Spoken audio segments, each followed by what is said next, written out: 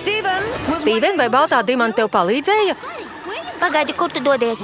Pagaidi, tu teici, ka tev kādreiz bija atriebīgas domas. Jā, bet vairs nav. Kā tu tās pārtrauci? Es satiku kādu Stīvenu visumu. Viņš man teica, es, um, es varu mainīt, tu vari apsolīt, Nedod man manu padomu. Tu vari plānot, Tu vari kaut ko mainīt, Stīven, ļauj mums tev palīdzēt. Nē, nē, tu vari izteikt savu viedokli. Pagaidi,